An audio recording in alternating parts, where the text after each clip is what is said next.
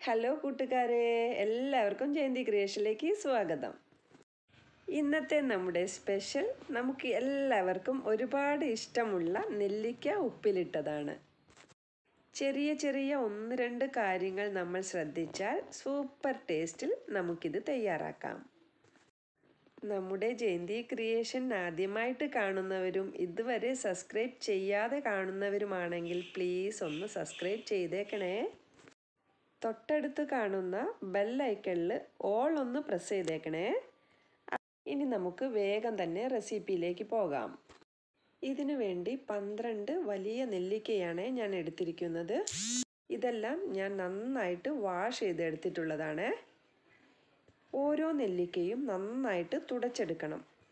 ഒട്ടും നനവ് പാടില്ല.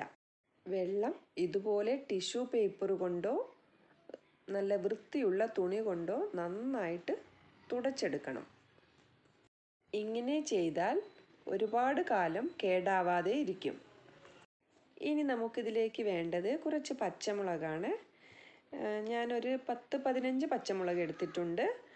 നന്നായിട്ട് കഴുകിയ ശേഷം ഇതുപോലെ ടിഷ്യൂ പേപ്പർ കൊണ്ട് നന്നായിട്ട് തുടച്ചെടുക്കണം. ഇനി നെല്ലിക്ക ഓരോന്നായിട്ടെടുത്ത് ഇതുപോലൊന്ന് വരിഞ്ഞു കൊടുക്കണം. ഇതിന്റെ ഉള്ളിലേക്ക് എരിവും പുളിപ്പുമൊക്കെ പിടിക്കാനായിട്ടാണ് ഇങ്ങനെ വരിഞ്ഞു കൊടുക്കുന്നത് അതുപോലെ തന്നെ എടുത്തു വെച്ചിരിക്കുന്ന പച്ചമുളക് ഇതുപോലെ ചെറുതായിട്ട് കട്ട് ചെയ്തിട്ട് എടുക്കണം. ഇങ്ങനെ കട്ട് ചെയ്തെടുക്കണമെന്നില്ല നീളത്തിലിട്ടാലും മതി.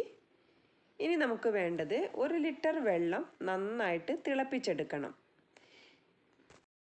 വെള്ളം നന്നായിട്ട് തിളച്ച് വന്നിട്ടുണ്ട്. ഇനി ഇതിലേക്ക് മൂന്ന് ടേബിൾ സ്പൂൺ കല്ലുപ്പ് ചേർത്ത് കൊടുക്കാം. നന്നായിട്ടൊന്ന് ഇളക്കി കൊടുക്കാം. ഉപ്പ് കുറച്ച് മുന്നിട്ട് നിൽക്കണം. ഇത് നന്നായിട്ട് തിളച്ച ശേഷം ഇതിലേക്ക് കാൽ കപ്പ് വിനിഗർ ചേർത്ത് കൊടുക്കാം. നന്നായിട്ടൊന്ന് ഇളക്കി കൊടുക്കാം. ഇത് നന്നായിട്ടൊന്ന് തിളപ്പിച്ചെടുക്കണം. വിനിഗറിന്റെ പച്ച ചുവയൊക്കെ മാറിക്കിട്ടാനായിട്ട് നന്നായിട്ട് തിളപ്പിച്ചെടുക്കണം. ഇതിപ്പം നന്നായിട്ട് തിളച്ചിട്ടുണ്ട്. ഇനി ഫ്ലെയിം ഓഫ് ചെയ്യാം. ഇതിനി തണുക്കാനായിട്ട് മാറ്റി വെക്കാം.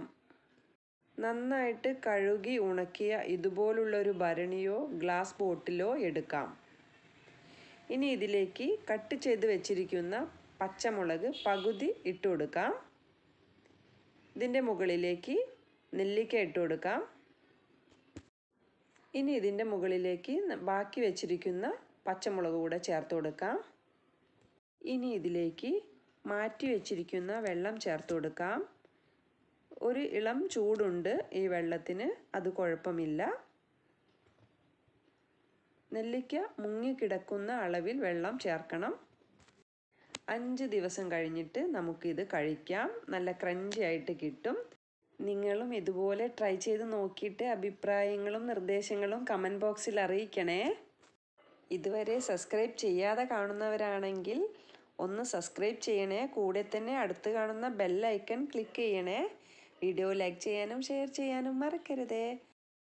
നല്ലൊരു റെസിപ്പിയുമായിട്ട് വീണ്ടും കാണാം. താങ്ക്